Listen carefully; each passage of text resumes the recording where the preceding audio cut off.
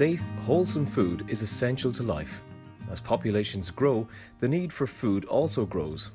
Globally, insects and other pests consume between 20 and 40% of the food that is produced annually.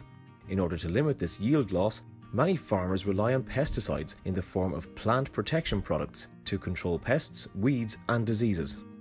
The aim of this video is to show the science-based checks and controls that are in place to ensure that the food produced on Irish farms is to the very highest international standards and that when pesticides are used, their use is necessary and has no negative consequences for the farmer, consumer and the environment.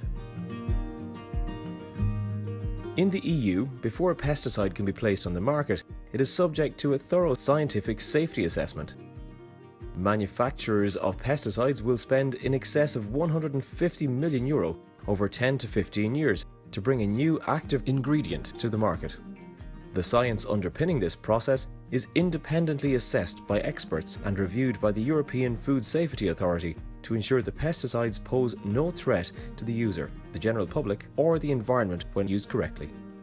Department scientists work closely with colleagues in the European Food Safety Authority and other member states to ensure that only pesticides with a safe profile are approved for use within the EU. In addition to the strict registration and approval requirements, there are further controls and checks in place at farm level to ensure the sustainable use of pesticides. All farmers applying pesticides must be trained and registered with the Department of Agriculture, Food and the Marine as professional users. All sprayers used to apply pesticides must be tested and certified, similar to a car NCT, and calibrated regularly to ensure pesticides are applied accurately. Pesticides are only applied if other alternative non-chemical control methods are either impractical or will not give the level of control required. Where it is considered appropriate to use pesticides, the farmer must comply with all product label guidelines and maintain accurate and up-to-date records of how and where all products were used. Each year, approximately 1,300 on-farm inspections are carried out by the department to ensure that these requirements are met.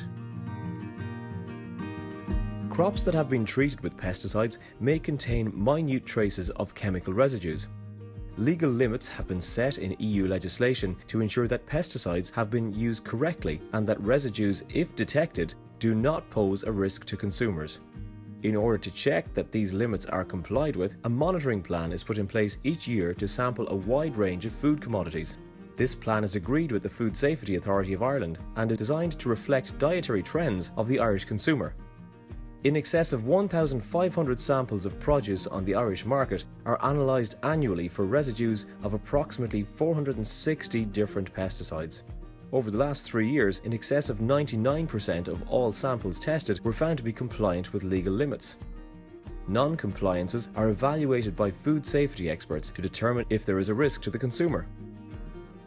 If a risk to the consumer is identified, a rapid action plan is put in place to remove the food item concerned from the market, and further on-farm investigations are carried out to establish the cause of the breach.